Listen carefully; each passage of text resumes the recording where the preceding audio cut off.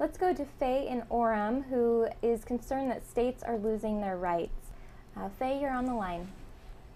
Thank you. Senator Lee, I want to thank you for, for all your efforts, for yours and Rand Paul's and um, Ted Cruz, all the things that you've been trying to do, but I see that you're hobbled.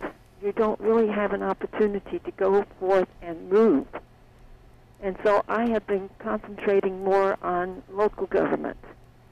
And I have really been feeling, well, as I feel it and as I see it, we're threatened as U.S. citizens in so many ways because our state rights are in jeopardy.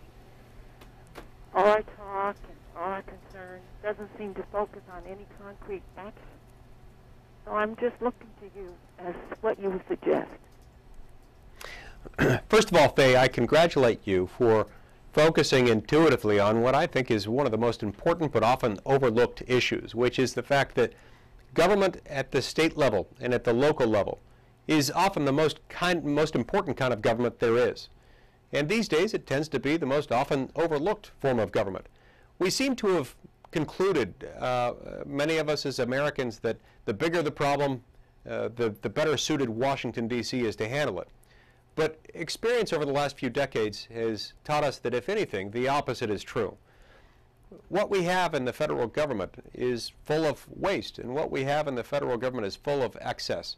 And every time the federal government grows bigger, more powerful, and more expensive, it tends to do so at your expense. It tends to do so in a way that makes people throughout the 50 states less powerful. Here's another way of looking at it. There are more people in the United States who could have access to more of the kind of government they want and less of the kind of government they don't want if they governed more at the state and the local level.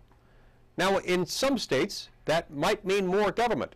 In some states, that might be a single payer, government funded, government run healthcare system. I'm told, for example, that the people of Vermont would very much like to move in that direction. And if they had the ability to do so without excessive interference by the federal government, people in Vermont would probably vote to do that within their state. I doubt Utah would be as inclined to go in that direction.